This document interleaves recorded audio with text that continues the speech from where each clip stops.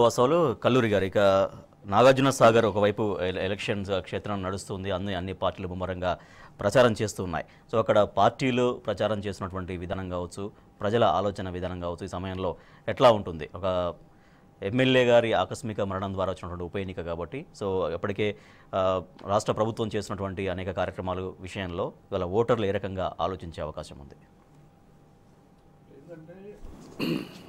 నోముల నరసింహయ్య గారి మరణంతో ఏర్పడ్డ ఉప ఎన్నిక కాబట్టి ఇది ఆల్రెడీ ఇది ప్రధానంగా ప్రతిపక్షాలు గత నాలుగు నెలలుగా చేస్తున్నటువంటి ప్రచారానికి ఇప్పటికే గ్రాడ్యుయేట్ ఎన్నికలతోటి ఒక బ్రేక్ పడ్డదనే చెప్పాలి.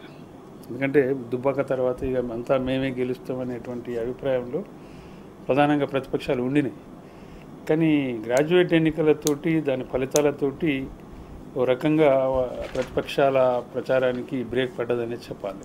ఓ రకంగా ఇప్పుడు ఏంటంటే నాగార్జున సాగర్ ఎన్నికను పెద్దగా ఏదో ప్రతిపక్షాలు ఊహిస్తున్నట్టుగా అక్కడ ఫలితాలు ఏమి వచ్చే అవకాశం అయితే లేదు ప్రధానంగా ఏంటంటే నోముల నరసమ్మయ్య అనేటువంటి అభ్యర్థి వాస్తవంగా అతనికి ఉన్నటువంటి పొలిటికల్ కెరీర్ని చూసినప్పుడు అతనికి ఉండే పొలిటికల్ ఇమేజ్ కావచ్చు లేదంటే వారి కొడుక్కి ఈసారి కేటీ కేసీఆర్ గారు టికెట్ ఇవ్వడం కావచ్చు ఇవన్నీ ప్లస్ పాయింట్లే.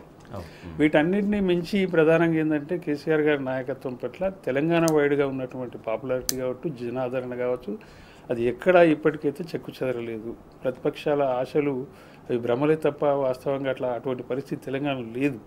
ఎందుకంటే ప్రభుత్వంలో గత ఏడు సంవత్సరాలుగా జరిగింది ప్రజలు తప్పుపట్టేంత ఘోరంగా ఇక్కడ సమస్యలేం లేవు వాస్తవానికి. ఓకే. అన్నీ బాగానే ఉన్నాయి అన్నీ సవ్యంగానే ఉన్నాయి. తెలంగాణ గ్రామీణ ప్రాంతాలు కూడా ఆర్థికంగా బాగా బలోపేతం అవుతున్నాయి అనేక సంక్షేమ పథకాలు అభివృద్ధి వాటన్నిటిని చూసినప్పుడు కేసీఆర్ గారి యొక్క పాపులారిటీ ఈవెన్ స్టేట్లే కాకుండా నేషన్ వైడ్గా పెరుగుతున్నటువంటి ఈ క్రమంలో కేసీఆర్ గారి నాయకత్వానికి కాదని ఇంకొకరికి ప్రజలు ఆలోచించే పరిస్థితులు కూడా అసలే లేవు. నాకు తెలిసితే అది తెలంగాణ వైడ్గా చూసినప్పుడు నాగార్జున సాగర్లో కూడా అదే పరిస్థితి ఉంటుంది.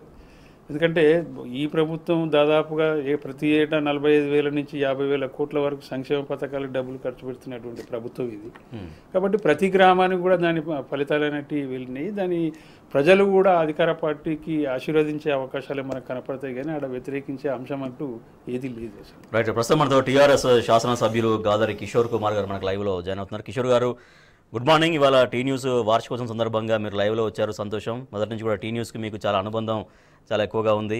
సో ఈ సందర్భంగా మీకు శుభాకాంక్షలు.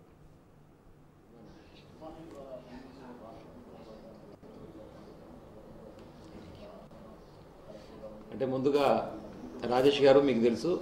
ఎందుకంటే ఇద్దరం కూడా ఉస్మానియా యూనివర్సిటీలో ఉన్నప్పటి నుంచి కలిసి ఉన్న వాళ్ళం ఉస్మానియా యూనివర్సిటీ ఉద్యమాల్లో భాగస్వామ్యం పంచుకున్న వాళ్ళం. దాని తర్వాత వచ్చినటువంటి టీ న్యూస్లో తెలంగాణ గుండె చప్పుడు పేరుతో ఏదైతే తెలంగాణ హృదయాలు ప్రతిధ్వనించే విధంగా పదకొండు సంవత్సరాలు మన వారిని బారిని వినిపిస్తూ ముందుకు సాగుతున్నప్పుడు దాంట్లో మొదటి నుంచి కూడా ప్రాతినిధ్యం వహిస్తూ ఉన్నారు మీరు. మీకు సుదీర్ఘమైనటువంటి అనుభవం కూడా టీ న్యూస్ పట్ల ఉన్నది. నిజంగా కూడా ఆ రోజు ఉద్యమానికి మన మాటని వినిపించడానికి కూడా ఒక కుట్రాపూరితమైనటువంటి ధోరణిలో ఆంధ్ర యాజమాన్యం ఈ మీడియా నడిపిస్తున్నటువంటి క్రమంలో తెలంగాణ వారిని వినిపించేటువంటి క్రమంలో వచ్చినటువంటి ఈ టీ న్యూస్ అనేటువంటిది నిజంగా చాలా గొప్ప పాత్రను ఉద్యమంలో పోషించింది. మాలాంటి వాళ్ళందరినీ కూడా ఉద్యమం ద్వారా తెలంగాణ ప్రజలకు పరిచయం చేసి ఈరోజు ఒక స్థాయిలో కూర్చోబెట్టడంలో కేసీఆర్ గారి ఆశీర్వాదం ఎంత ఉందో టీ న్యూస్ పాత్ర కూడా అంతే గొప్పగా ఉంది. తెలంగాణ రావడానికి కూడా టీ న్యూస్ కీలకమైన పాత్ర పోషించి దాంట్లో ఎలాంటి అనుమానం లేదు. ముందుగా మీ ద్వారా టీ న్యూస్ యాజమాన్యానికి అదేవిధంగా టీ న్యూస్లో పనిచేస్తున్నటువంటి సిబ్బందికి అదేవిధంగా తెలంగాణ ప్రజలకు పదకొండు సంవత్సరాల నుండి పన్నెండవ వసంతంలో అడుగు పెడుతున్నందుకు టీ న్యూస్ వీక్షకులకు అందరికీ హృదయపూర్వకమైనటువంటి శుభాకాంక్షలు తెలియజేస్తా ఉన్నాను. ఎస్ కిషోర్ గారు. ఎస్ ఇక నాగార్జున సాగర్ గారు ఇప్పుడు. మాట్లాడుతున్నటువంటి టాపిక్ ఇప్పుడే కల్లూరి శ్రీనివాస్ రెడ్డి గారు కూడా మాట్లాడుతున్నారు. రైట్ నాగార్జున సాగర్ ఎలక్షన్ గురించి మాట్లాడదాం ప్రధానంగా నాగార్జున సాగర్ అదే మాట్లాడుతూ ఉంటా విన్నా కాబట్టి నాగార్జున సాగర్ సంబంధించినటువంటి ఎన్నికల ప్రచారంలో యా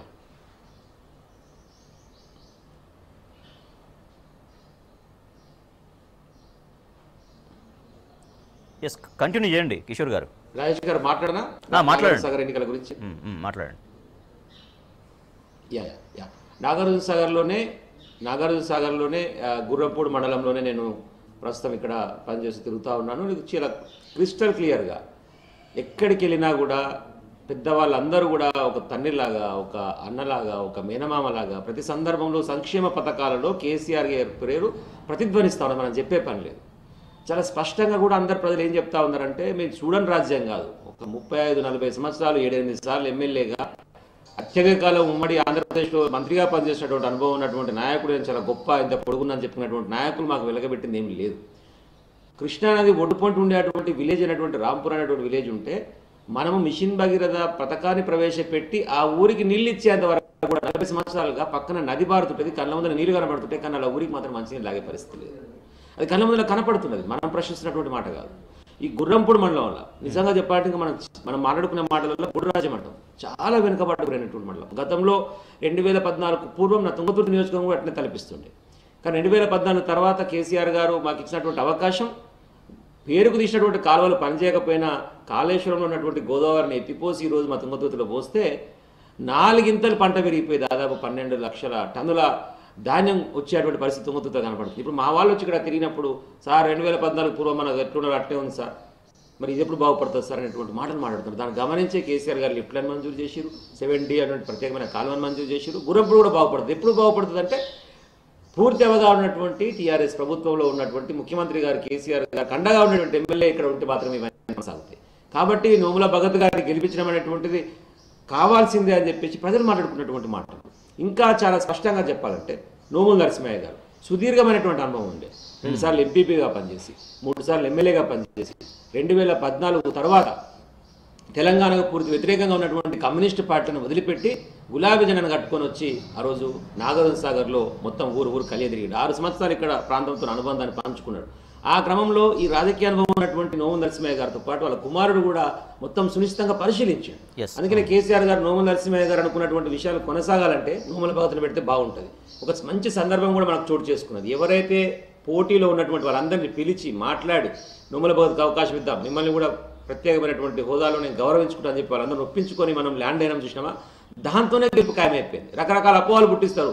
అట్లా ఇట్లా చెప్పి ఏం లేకుండా అందరు కలిసికట్టుగా కో- కోటిరెడ్డి గారు కానివ్వండి చిన్నప్పరెడ్డి గారు కానివ్వండి గురువయ్య గారు కానివ్వండి అందరిని మంచి పిలిచి మాట్లాడి అందరితో పాటు ల్యాండ్ చేసినతోనే నోముల భగత్ గారు మంచిగా చాలా అద్భుతంగా ఈరోజు ప్రచారంలో కొనసాగుతున్నారు. గుర్రంపూడి మండలంలో నేను తిరిగినాం మేము ఉన్నటువంటి గ్రామాల్లో కూడా తిరిగినాం. ఈరోజు పొద్దున కూడా మళ్ళీ మా గ్రామాలు తిరుగుతున్నారు.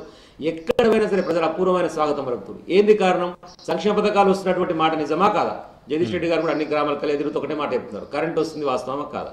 సంక్షేమ పథకాలు వస్తుంది వాస్తవమా కాదా? వాస్తవం అయితే మీ అభివృద్ధిని కొనసాగించాలంటే నోముల భగత్ గారిని ఆశీర్వదించండి. నోముల నరసింహ గారి ఆశయాన్ని కొనసాగిస్తాడు. కేసీఆర్ గారు ఆశీర్వదించి పంపిరు. దయచేసి మీరు కూడా ఆశీర్వదించండి. ఇవన్నీ చెప్పుకుంటూ పోతున్నప్పుడు నిజమే కదా మన నలభై ఏళ్ళలో జరిగింది. రెండు వేల పద్నాలుగు తర్వాత సంక్షేమ పథకాలు నేరుగా కొన్ని వచ్చినాయి. ఈ రెండు సంవత్సరాలే కదా నాగరసాగర్ అభివృద్ధి చెందినటువంటి మాట ప్రజలలో కనిపిస్తున్నది. కాబట్టి ఈరోజు ఉప ఎన్నికలలో టీఆర్ఎస్ పార్టీ అభ్యర్థి నోముల భగత్ మంచి మెజార్టీతో గెలవబోతా ఉన్నారు. కురువృద్ధుని రాజకీయాలను చెప్పుకునేటువంటి నాయకుడు రేపు మూలకపడేటువంటి పరిస్థితి కనపడుతున్నది. రాజకీయంగా సన్యాసం తీసుకునేటువంటి పరిస్థితి కనపడతా ఉంది.